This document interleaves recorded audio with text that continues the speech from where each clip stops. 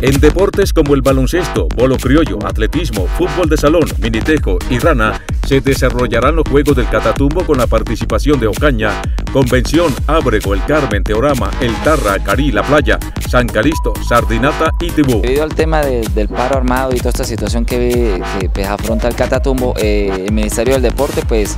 eh, paró, digámoslo así, la organización de los Juegos hasta nueva orden, hasta nueva fecha. Eh, hasta el momento, cada municipio pues ya está en disposición a realizar esta eliminatoria